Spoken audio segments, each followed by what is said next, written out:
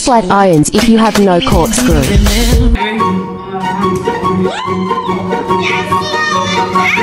Yes,